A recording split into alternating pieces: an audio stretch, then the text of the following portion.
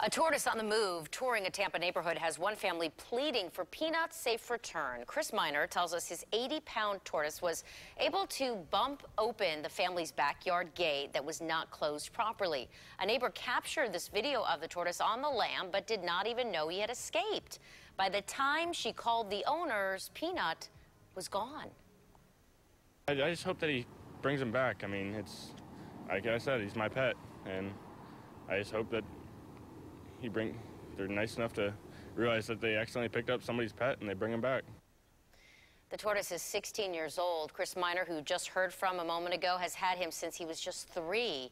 The family wants people to know this is a tortoise, not a turtle, and will drown in water. You can help in the search by sharing this story from our Facebook page. Jameson?